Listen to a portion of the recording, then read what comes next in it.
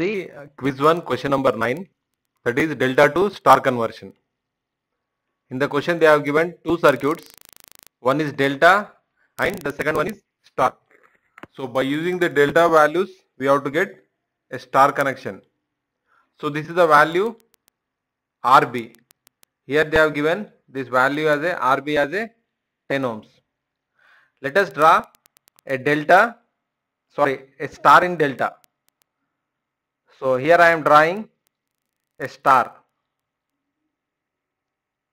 So this is a star in delta and the values are and this is your R1 and this is R3 and this is your R2. So already we have seen delta to star conversion formulas.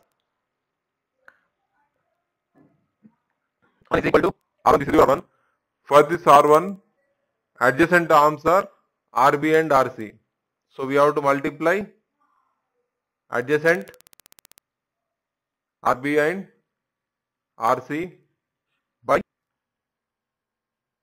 RA plus RB plus RC. next for R2 two RA and are adjacent. So RA into RC by RA plus RB plus RC. Similarly for R3. For R3, RB and RA are the adjacent.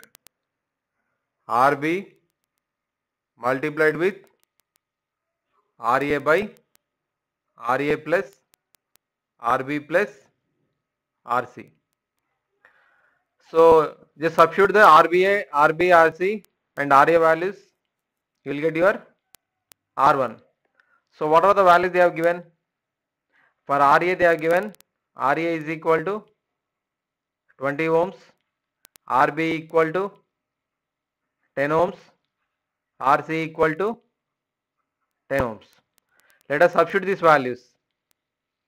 RBRC 10 into 10, 10 into 10 by 10 plus 10 plus 20 that is your 40 so which gives you 100 by 40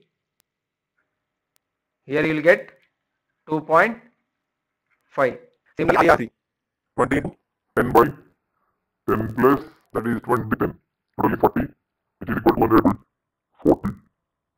Porque você